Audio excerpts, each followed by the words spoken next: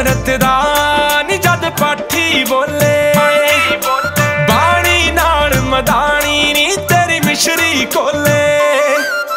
ਦੁੱਧ ਰਿੜਕਣ ਤੋਂ ਬਾਅਦ ਨੀ ਜਦੋਂ ਸਫਾਈਆਂ ਕਰਦੀ। ਮਹਿਕ ਮਿੱਟੀ ਦੀ ਸੋਹਣੀਏ ਨੀ ਫਿਰ ਅੰਬਰੀ ਚੜਦੀ ਚਾਹ ਦੇ ਨਾਲ ਤੂੰ ਪਰੀਏ ਨੀ ਜਦ ਮੈਨੂੰ ਛੋਵੇਂ।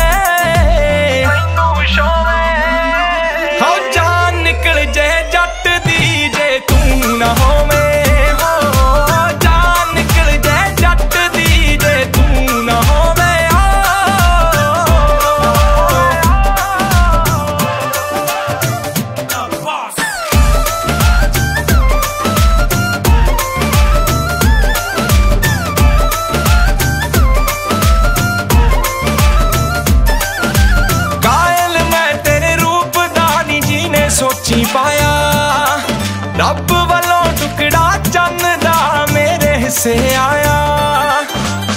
ਕਾਇਲ ਮੈਂ ਤੇਰੇ ਰੂਪ ਦਾ ਨੀ ਜੀਨੇ ਸੋਚੀ ਪਾਇਆ।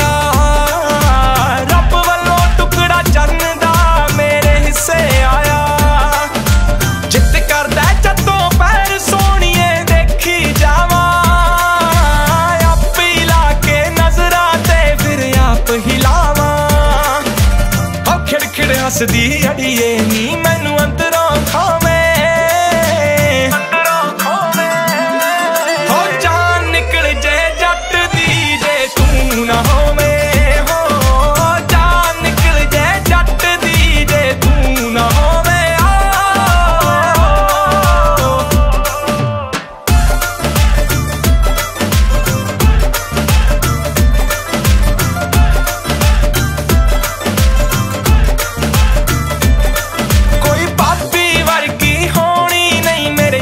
ਸਲਾਉਂਦੇ। ਜੇ ਅੱਖੋਂ ਲੈ ਹੋ ਜੇ ਤਾਂ ਔਖੇ ਸਾਹ